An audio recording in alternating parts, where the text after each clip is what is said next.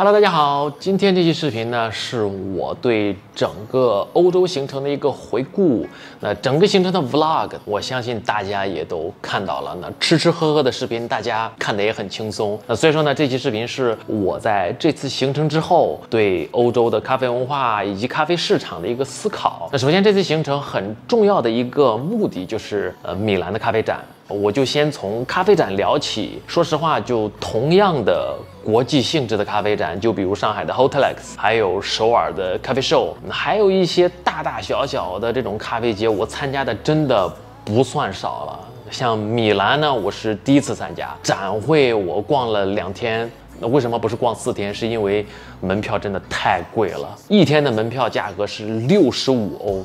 两天的门票价格是八十五欧，我当时我就在心想，这个门票的价格在放在国内的话，哪怕是八十五人民币，我估计也有很多人不愿意去买票逛咖啡展的，对不对？先抛出来我自己的一个结论：宇宙的咖啡中心还得是意大利。那米兰的咖啡展可以说是集结了全球咖啡产业链的最顶端的公司以及产品。如果你没有在这个行业里边从事十年八年，你来到这边了之后，其实你根本看不懂，因为这个展会它没有任何的营销的活动，也没有什么打折送咖啡啊，或者是关注送小礼物的这种吸引流量的这种套路。展会主打的就是一个简单直接。你如果觉得这个产品好，那么你就直接体验，随便玩。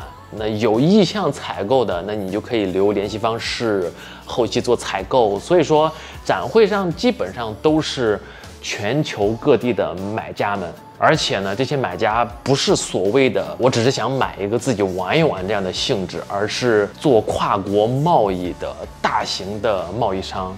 那就比如跟我们合作的咖啡品牌 XLVI 来说，你来到他们的展台，也都是各个国家的贸易商们。那晚上我们和品牌方去聚餐的时候呢，桌上的都是来自呃德国、法国、挪威、希腊、印尼、马来、越南、澳大利亚、泰国。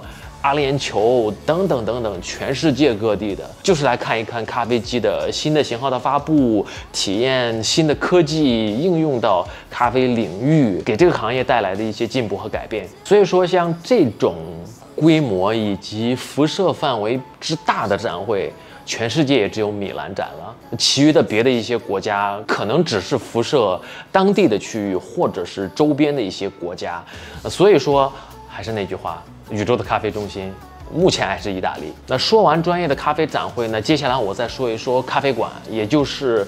喝咖啡的习惯以及文化，那整个行程我不知道到底喝了多少个咖啡馆，粗略的估计的话，可能不低于一百家。所以说，真的是我不会错过任何一个能够喝一杯咖啡的机会。那欧洲的咖啡馆都挺老的，虽然说不全是那种百年老店，但是呢，不少也都是经营了几十年的那种老老旧旧的。那所以说，基本上都是在第二波意式咖啡文化背景下经营起来的。主流的咖啡馆的。装修设计以及提供的菜单都是第二波的深烘焙的意式咖啡为主的，那制作咖啡的方法方式也都是简单粗暴，没有受到第三波咖啡制作的影响，不讲究粉量、萃取时间、粉水比、克重等等，那这些都是第三波所传达的东西。但是得益于他们比较成熟以及完善的咖啡的产业链，所以说你在欧洲喝到的咖啡的整体的水平，它都。都在一个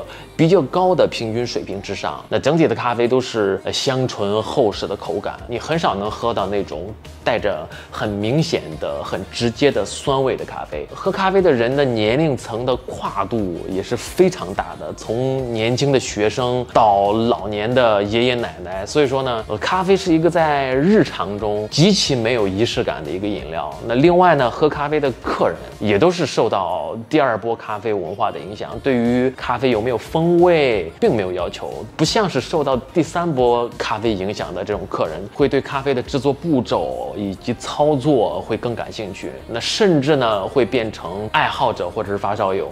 而很明显的，他们就是简单的喝杯咖啡而已。对于咖啡的制作的方法、参数等等，并不感冒。那举一个很简单的例子，我在一个朋友咖啡店里边看到一个客人，他每天去喝咖啡的。当问到他会不会自己在家里边做摩卡壶咖啡的时候，他竟然说不知道什么是摩卡壶。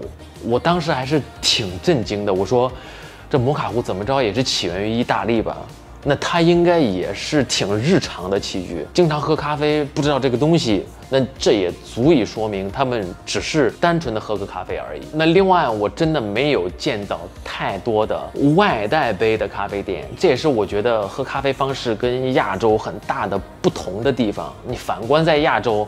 到处可见的外带杯，似乎已经成了咖啡馆主流的一个出品方式了。那我到罗马的时候呢，特意给朋友带了我们品牌的手冲咖啡豆，因为我知道在欧洲能喝到手冲咖啡的地方，嗯，其实很难找。结果呢，朋友就说，哎，在家里边没有做手冲咖啡的器具，在家里边也主要是以喝意式咖啡为主的。所以说，欧洲人喝咖啡的习惯呢，他已经非常非常的固定了，不会变来变去的。今天喝这个，明天喝那个。那最后呢，我再。说一下意大利的这些大型的烘焙工厂吧，因为我们自己在上海呢也做了咖啡烘焙厂，所以说呢我也会特别的在意一下当地的咖啡的烘焙品牌，那就像呃 Lavazza、伊利、咖啡 Pascucci、呃 Sigafredo。等等等等，我发现这些品牌呢，他们都是以咖啡烘焙起家，然后再开启线下的实体店作为一个体验，再慢慢的去作为一个供应商，去给一些小的咖啡店去供应咖啡豆以及咖啡设备。那就比如我拍摄的呃温州的朋友在米兰开店的那家，他用的就是咖啡 Pascucci 的咖啡豆，品牌呢就会根据他们的用豆量给他们免费的提供咖啡机。那因为他们的用豆量比较大，所以提供的咖啡机是比较贵的，辣妈用量小的店呢，可能就会提供更便宜的咖啡机。街头你看到的咖啡店呢，有一些它就会挂着咖啡豆的牌子，那就说明它用的是这个品牌的咖啡豆，并不一定说是这个咖啡品牌开的店。所以说看了意大利的这些烘焙商，我觉得我们国内的烘焙商。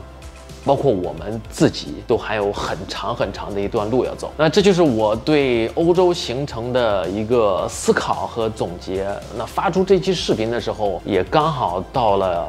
一年年末的时候了，所以说也要做一个对明年的计划和展望。那今年呢是带着我们的咖啡品牌走过的第一个年头，也有不少粉丝喝到了我们的咖啡，也有对于我们的咖啡的评价，我也都有看。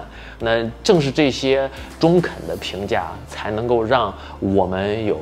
非常大的改进和提升。那新的一年，我也希望带领大家一起继续喝咖啡、看世界。那如果明年有机会去到原产地的话，那么我也会带领大家走到产地的源头，让更多的人了解到咖啡的不同的环节是什么样子的。那明年旅途中会发生什么样的故事，会遇到什么样的人？那么让我们明年再见。